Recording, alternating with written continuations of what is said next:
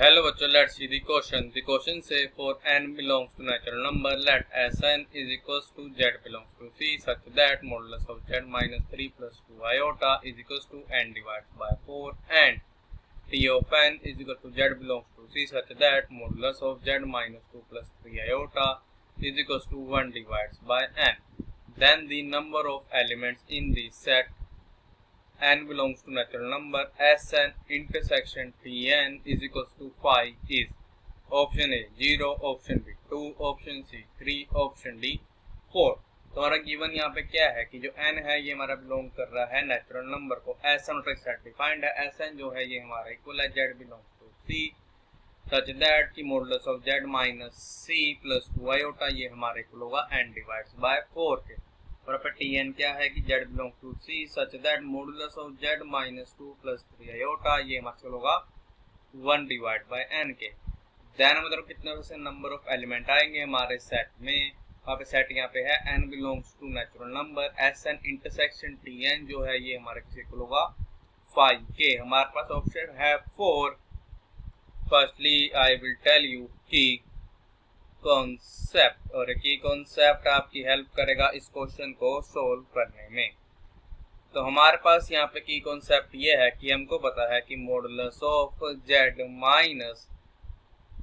A minus iota B this is equals to R ये हमारे पास होता है एक सर्कल होता है। इज़ ए सर्कल जिसका सेंटर क्या होता है? हमारे पास इसका सेंटर होता है A comma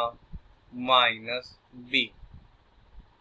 and हमारे उसकी रेडियस होती है रेडियस इज़ आर अब हम क्या करेंगे इसकी कॉन्सेप्ट की हेल्प से अपने क्वेश्चन को करेंगे सो एस एन और क्या था, इसके अंदर पर सारे वो जेड जो से बिलोंग कर रहे थे सी को मीन्स कॉम्प्लेक्स नंबर को सच दैट कि मॉडुलस ओ हमारा पता कि Z minus three plus two iota, ये हमारे को होगा? एन डिवाइड्स बाय फोर देखो modulus of Z minus three plus two iota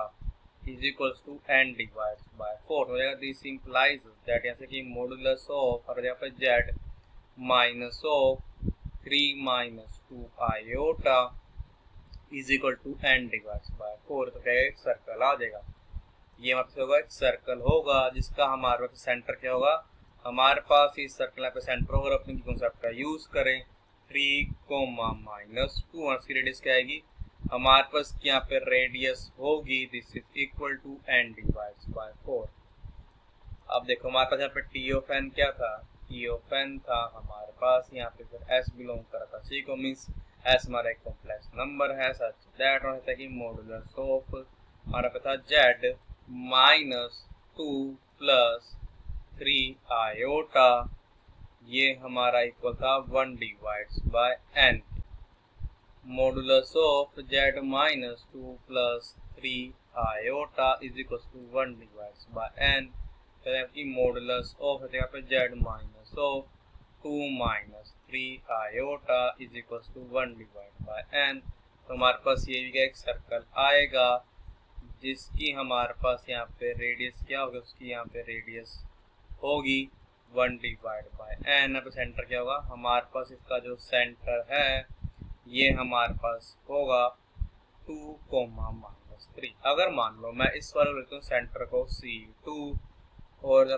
ये सेंटर है, इसको मैं लिखता हूँ सी वन। तो देखो, हमको तो ये बताना था कि जो हमारे पास S N intersection T N है, ये हमारा क्या होगा? फाइव इस कितने से नंबर ऑफ़ एलिमेंट आएँगे? तो क्या होगा?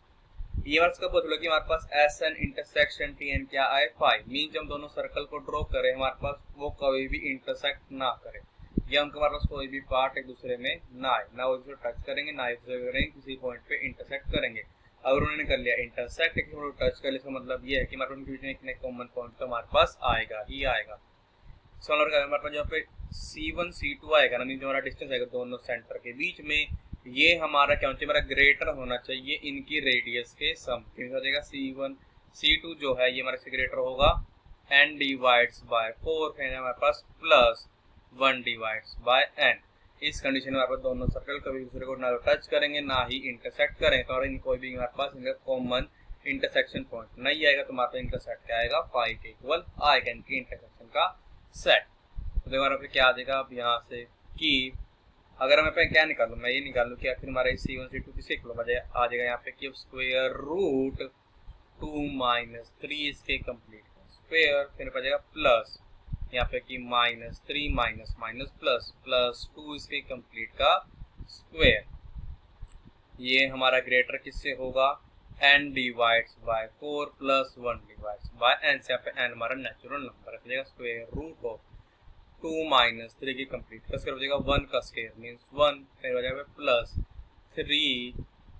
और क्या है? माइनस का है, फिर हो जाएगा प्लस टू मर जाएगा यहाँ से माइनस वन माइनस वन का स्क्वायर मीन्स वन ये हमारा ग्रेटर हो जाएगा n divides by four plus one divides by n के। तो आ जाएगा दिस इंप्लाइज दैट की स्क्वायर रूट टू जो है ये हमारा ग्रेटर किस हो जाएगा n divides by four plus one by n के। अब देखो हमारी चीज़ पता है कि जो हमारा क्या होता है स्क्वेयर रूट टू होता है, ये हमारे को होता है, ये हमारे को होता है one point four one four two के। ये हमारा ग्रेटर किस हो जाएगा n divides by four plus one divides by n से देखो मैं करते हैं, हम ले लेते हैं पहले यहाँ पे कि n is equal to one तो हमारे क्या आ जाएगा यहाँ पे?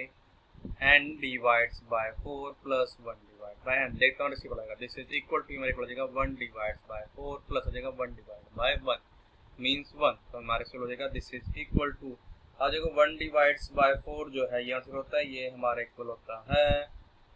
पॉइंट टू फाइव हो जाएगा? Point two five plus one तो हमारे इक्वल हो जाएगा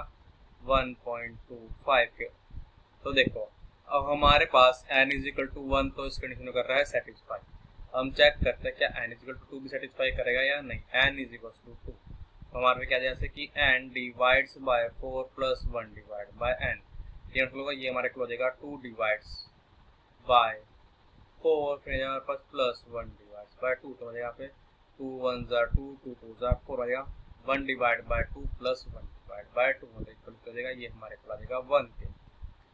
तो हमारे पास अब ये भी सेटिस्फाई कर रहा है उसको, हम ले लेंगे n is equal to three तो पे क्या जाएगा पे कि three divides by four plus one divides by three which is equals to अब देखो जो हमारे पास करता है थ्री डिवाइड्स बाय फोर है, ये हमारा इक्वल होता है point seven five zero point seven five तो हमारे पास प्लस अब जो हमारे पास क्या है वन डिवाइड्स बाय थ्री है, ये हमारे होता है ज़ीरो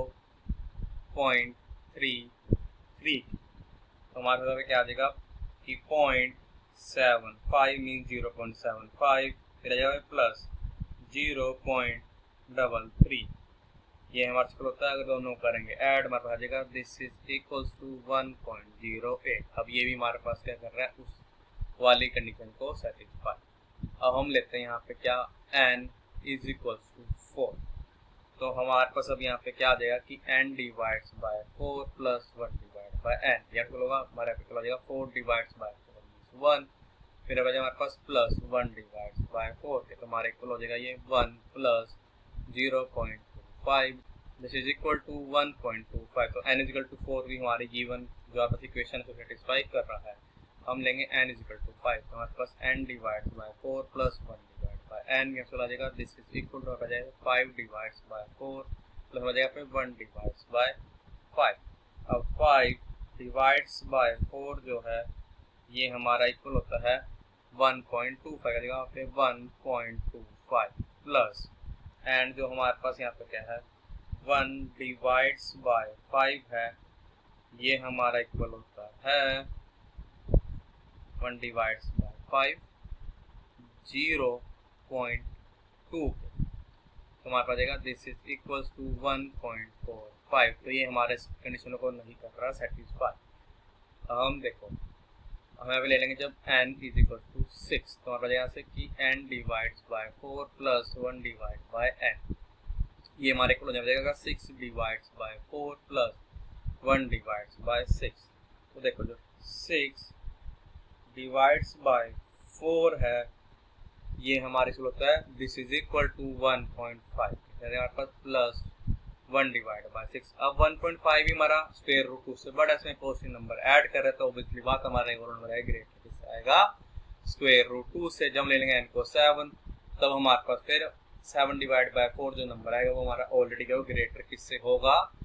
स्क्वेयर रूट टू से इसका मतलब हमारे यहाँ पे क्या हो सकता है? एन या तो हमारे को होगा वन के या टू के या थ्री के या फोर इसका नंबर एन की वैल्यू पॉसिबल नहीं हो सकती। तो हमारे पास ये कितने आगे हमारे पास आगे टोटल नंबर ऑफ़ फोर इसके अंदर एलिमेंट इसका मतलब ये है कि हमारा ये जो ऑप्शन डी है, ये करेक्ट ऑप्शन है। So the final answer is option D is a correct option I hope you understood it well all the best thank you